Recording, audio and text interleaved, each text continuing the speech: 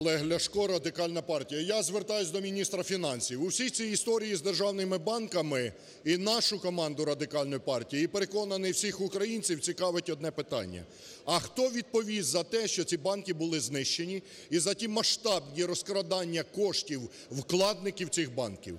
За висновками американського агентства Крол із Приватбанку його колишні власники вкрали майже 6 мільярдів доларів. Я питаю.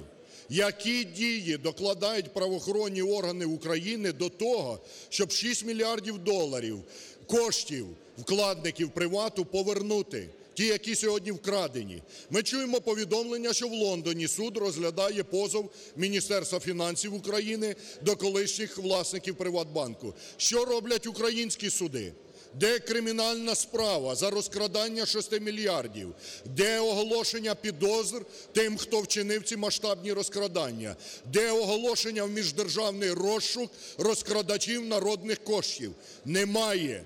Тобто 6 мільярдів доларів коштів українців украли з Приватбанку, ще 120 мільярдів гривень заплатили, щоб порятувати банк.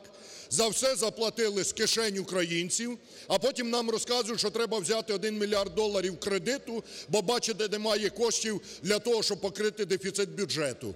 Красти мільярди доларів кошти людей є уміння, а знайти тих, хто вкрав, притягнуть сюди в Україну, витрусить з них народні гроші, на це вміння немає. У мене питання до всіх борців з корупцією і правоохоронців, за що ви отримуєте зарплату?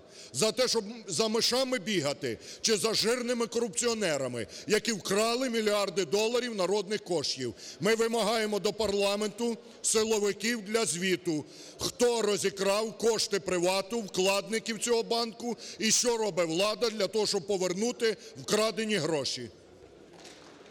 Дякую. Від "Блоку Петра Порошенка" Юрій Соловей. Тільки вас прошу